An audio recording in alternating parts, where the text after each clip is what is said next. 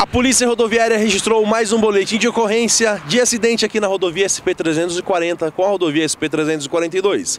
Um ciclista que tentava atravessar a pista foi atingido por um Astra que estava vindo sentido Espírito Santo do Pinhal.